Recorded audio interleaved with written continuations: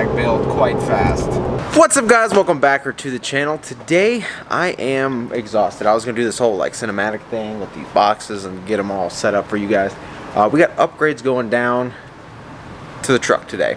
However, I'm exhausted. Uh, I know this is like a, a, channel where I like encourage you to try things and do them yourself and stuff like that. But if there's one thing I will never recommend doing yourself or doing in general is lifting a Tundra at home.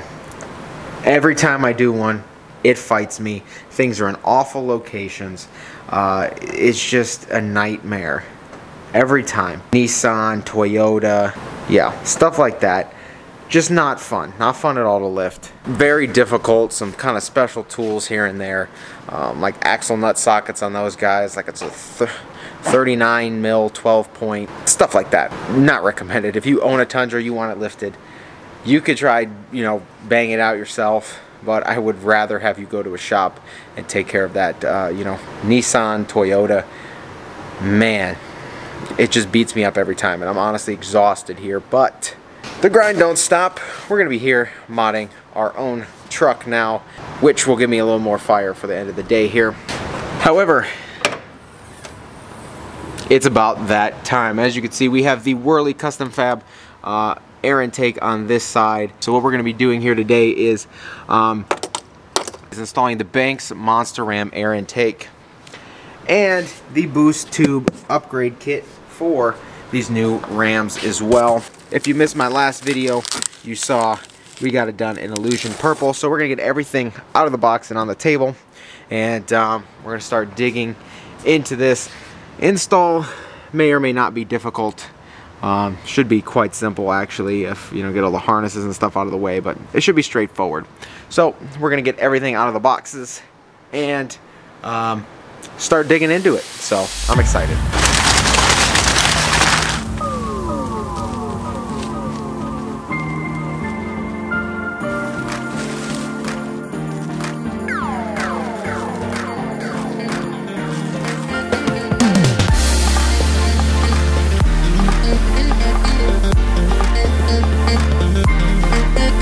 So guys, everything you see here was ordered and powder coated at Wehrli Custom Fab. If you guys are just tuning into the channel, anything on their website, um, including stuff like these boost tubes that, uh, you know, I contacted them, asked them to get them so I could pair them with this and have them both powdered Illusion Purple.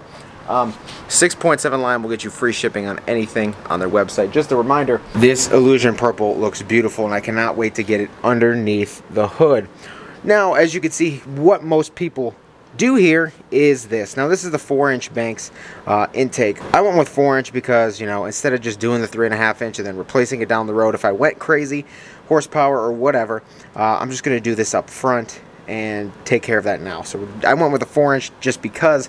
And when you go 4 inch, you can no longer use your stock boost tube. Some people have said they, you know, they've done it, but I don't know how because even on the website it says you need aftermarket or boost tube upgrade. Now the thing is, these boost tube upgrade kits can mount to your factory intercooler, which is down here, but your factory intercooler can mount to the upgraded boost tubes. And the upgraded boost tubes can mount to the new 4-inch intake horn. So what that means is you can use the 4-inch intake horn, the upgraded boost tubes, and the factory intercooler for now. Now, I didn't opt for the intercooler yet. However, I will. Trust me, that is 100% in the plans. That's always been in my plans for this truck.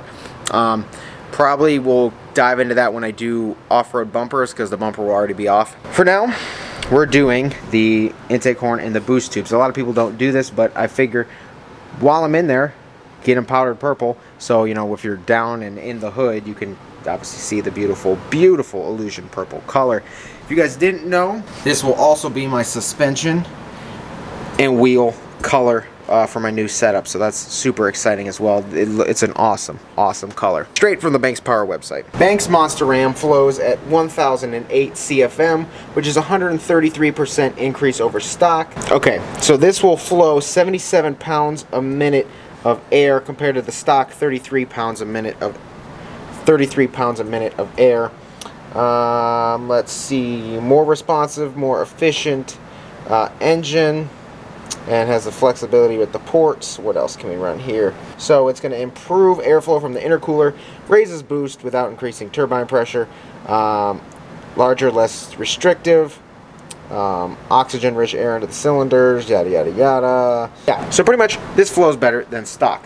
So that's for that. Uh, the boost tube upgrade kit here from Banks flows 103% more over stocks. The stock 2.3 inch uh, boost tubes go to a 3.5 inch boost tube. And what else do we have here? Quicker turbo spool, better flowing intercoolers, um, retention of boost pressure, which would be awesome for the G56. Uh, what else here? Lower EGTs, perfect fit and finish. So that's that. So pretty much, so pretty much better flowing air into your motor, which obviously is keeps your EGTs cooler, your motor cooler. Uh, the bigger tubes keeps your boost pressure up. Uh, builds boost faster, spools the turbo faster, stuff like that. Now here's the thing, you guys see my truck.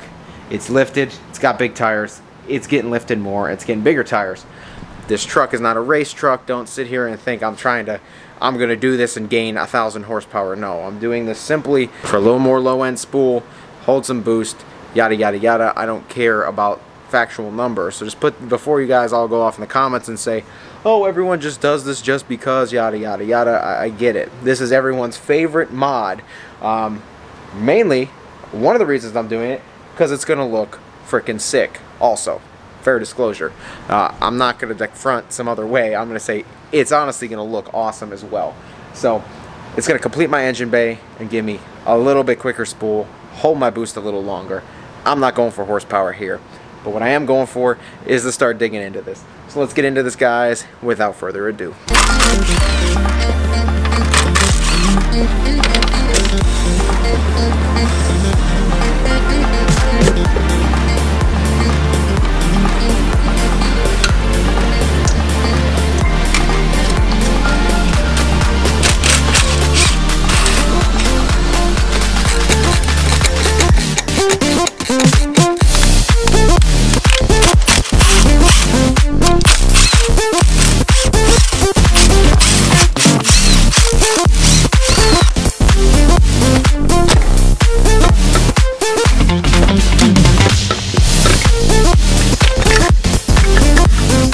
Okay, I'm gonna be honest. That came out a lot easier than I thought. Um, obviously because other parts already fell off. Um, it was probably just a bit easier. But pretty much all you gotta do is get all the wiring uh, harnesses that are attached on these things that are slid on. Um, take those off. And um, with that unplugged and your map sensor unplugged, that's all you really need to be honest. Um, but here is the factory one. I really don't want to touch this with my greasy hands, but here's the factory one. And here is the Banks Monster Ram. You can obviously see the difference already. Look at these holes. Look at how much air is coming in here. Look at how much air is coming in here. And on top of that, look at how much air is being sucked into this small area compared to this large area. So you can obviously see the difference there.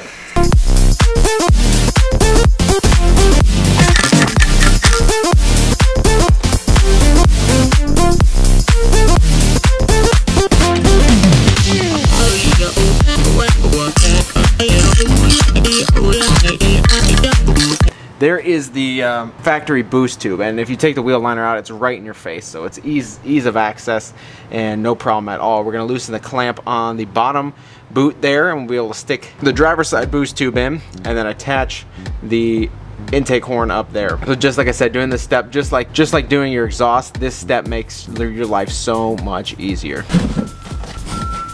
Okay, Okay, so I loosened that pretty good underneath there with this um, 11 mil, a whole lot of like this at different awkward angles to get that clamp undone. So I'm gonna try and yank it out. Uh, hopefully it's loose enough here. Um, pretty much gonna tuck myself in there and try and yank it. All right, so I pretty much loosened that thing crazily. So I'm gonna get underneath there with a pry bar and uh, kind of nudge that boot loose.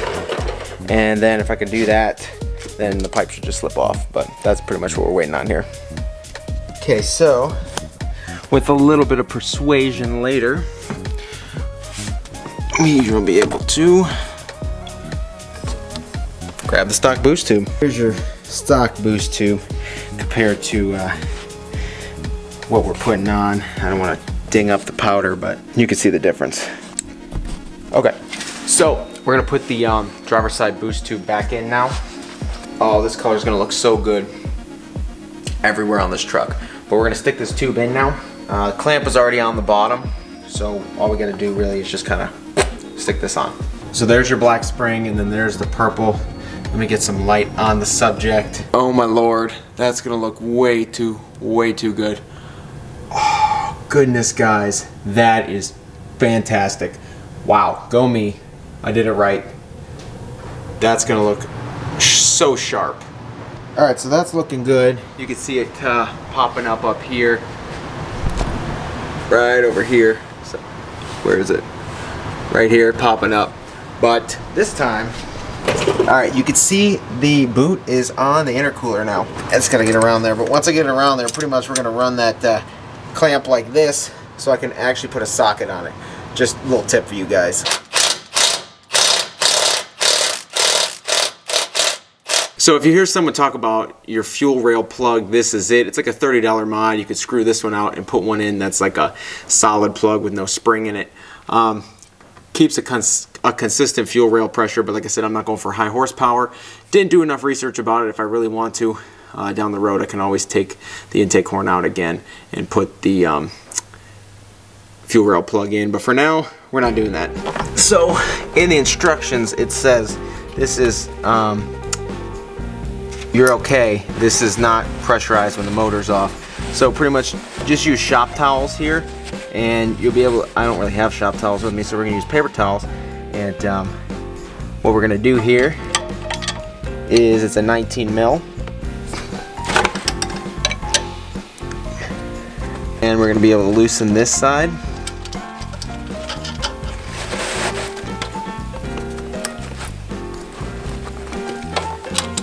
So there we go. And here's the other fuel line. Other end of the fuel line, I should say.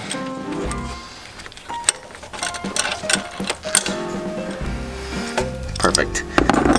The new fuel line that's provided in the kit.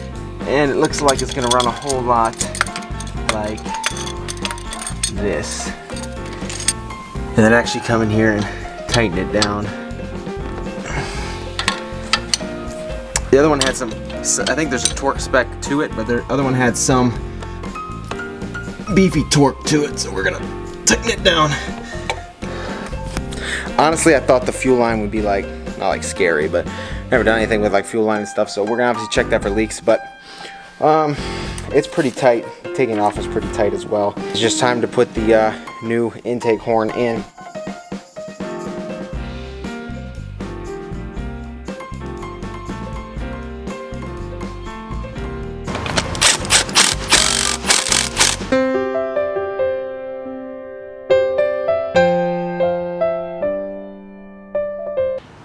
Just what I needed. Also what I needed. Yeah, so not only was I beaten up by Tundra today, this kind of beat me up. I've got a socket somewhere stuck in uh, my 6 mil Allen. Somewhere stuck in the engine bay. I have no idea where it went. I had my hand on it and then it just disappeared. Thought it went in the fan, fan shroud. Took that plastic off, not there. I heard it clank on metal, maybe in the frame. Who knows? However, this is all bolted up. It's got the dipstick bolted to here, and now some of you guys might not like this, but I'm a 6'7 guy. I like the shroud on the motor, so I'm going to be putting that back on. It works with the uh, intake horn, even though it's purple. Yes, I will be putting the shroud back on just because I like the 6'7 to look like a 6'7. However, first, we're going to make sure there's no fuel leak on that new fuel line, so we're going to start her up here.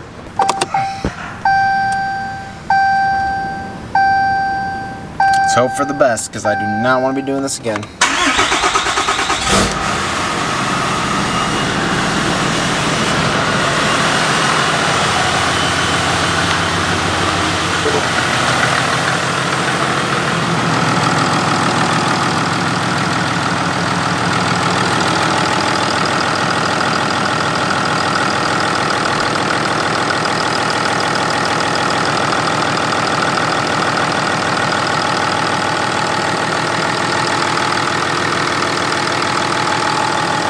Okay, so what it looks like is there's no leaks. It looks like the fuel that was on the rail from when I disconnected the line is still there. No puddles, nothing shooting out. Get uh, revved it a couple times. Everything looks good. So um, what I'm gonna do here, pick up all my tools, put the uh, put the shroud back on. I know a lot of you won't like that, but I'm just a six seven. I like how this, I like the way the six sevens look. And uh, as you can see here, we still have one pipe left. That is definitely gonna be have to be for tomorrow. It's, uh, yeah, if you can see here,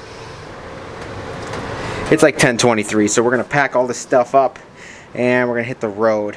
Uh, I, I'm exhausted. I don't want to be here another even 45 minutes, so we're going to have to uh, deal with that tomorrow. Alright guys, everything is pretty much tidied up and put away here. Uh, as you can see, the shroud is back on. Uh, Wehrli Custom Fab intake over here and the boost tube on the driver's side is in. I have the uh, passenger side boost tube all packed up in here and we'll either get to it tomorrow or the day after. Uh, that one will be quite simple. Um, you can even see it from here. It's right there, that tube. That tube needs to go, connects to the turbo. Because it's been a long day guys. That Tundra kicked my butt.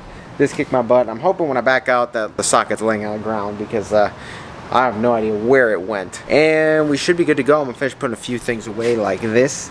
And then we'll get on the road. Yes, I get it. The tires are loud. All right, here we go.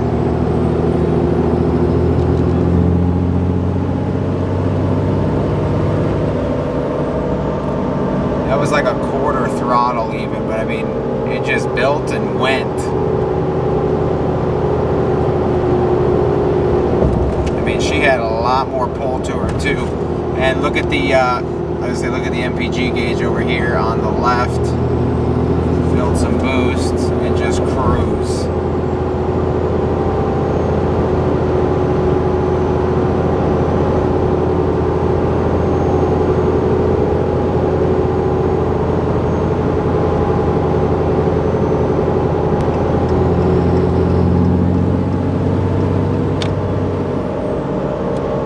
does in fact build quite fast.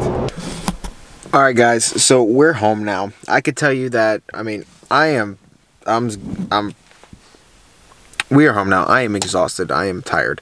So what I'm to do, um, like I said, took it on the highway. It goes zero from 0 to 100 real quick. Fourth gear goes 0 to 100 real quick. Clearly, um, it drives, it, I'm to be honest, it does drive different. Um, nothing that's like throw you back in your seat and like crazy, crazy. Um, but I'm going to see what the passenger side pipe does because I believe that's the inlet pipe and the other one is the outlet. I forget which one it is. But um, the pipe that's going straight to the turbo, I'm, I've swapped it out probably tomorrow and see if there's even a bigger or different different difference. But um, yeah, I hope you guys enjoyed that video. And I just want to say at the last moment here, like, I'm exhausted and I'm beat up and torn down. But I just want to say thank you guys for your support recently. And all that's that is what makes all of this worth it, you know. Working all day and then doing mods and trying to learn you guys as well. So, um, I just want to say thank you for the support and, you know, that this is what makes this all worth it. So, Take care. If you haven't been here if you haven't been here before, please get down there, click subscribe. If you enjoyed this video, shoot it a like, and I will see you guys in the next video.